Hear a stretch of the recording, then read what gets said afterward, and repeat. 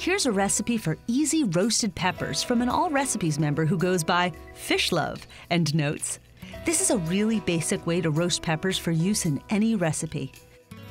Choose any color peppers you like, or use a variety of colors for a beautiful presentation. Begin by preheating your oven to 500 degrees.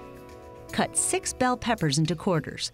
You can use green, red, orange, yellow, or a combination. Remove the seeds and the membranes. Put the peppers on a baking dish, skin side up.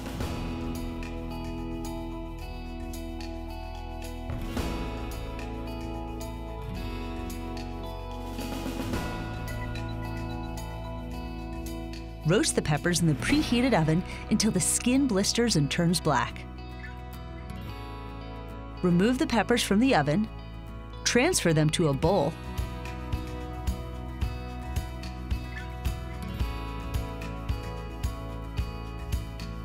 cover them, and let them rest until they're cool. Once the peppers have cooled, you'll be able to easily peel the skins off the peppers.